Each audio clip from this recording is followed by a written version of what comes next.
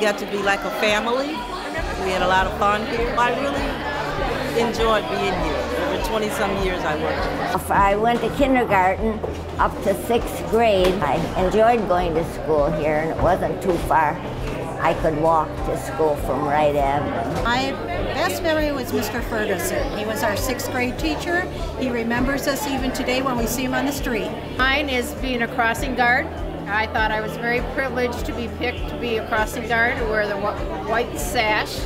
I went to school here, so it every every nook and cranny kind of brings back a memory. It's going to be sad.